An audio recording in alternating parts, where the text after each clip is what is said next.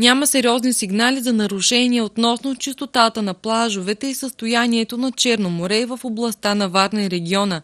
Това коментираха представителите на басейнова дирекция, които поеха инициатива заедно с деца от Варненска детска градина и основно училище Христо Ботев да почистят плажа в Аспарухово след края на активния летен сезон.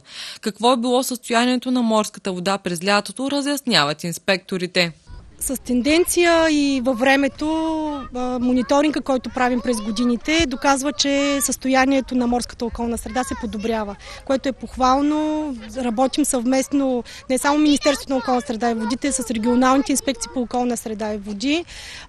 Наблюдаваме тази година, особено Северното Черноморие, което не беше така и нямаше нали, замърсяването с мазут и нефтопродукти, което за съжаление полетя тази година Южното Черноморие. Наблюдаваме сравнително много добро чисто чисто море. Това показват и резултатите в зоните с води за къпане, където са изследване на друго министерство, на регионалните здравни инспекции. Чистенето на плажа в Аспарухово продължи няколко часа, като през това време децата получиха практични и полезни съвети за това как да се грижат за околната среда. На последните летовници на плажа в Аспарухово пък бяха раздадени информационни материали и брошури за това как да се намали използването на пластмаса и начините за рециклирането й.